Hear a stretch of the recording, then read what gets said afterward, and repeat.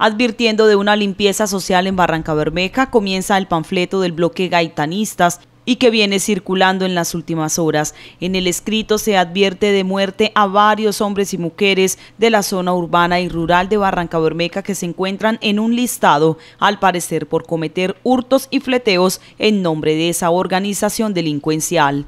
Según afirma el comunicado emitido por Sebastián Castaño, alias Sarley, ya se tienen identificadas las ollas y sus colaboradores. En el panfleto amenazante también se incluye a un uniformado de la policía del Magdalena Medio, al parecer por surtir de estupefacientes a la Comuna 3.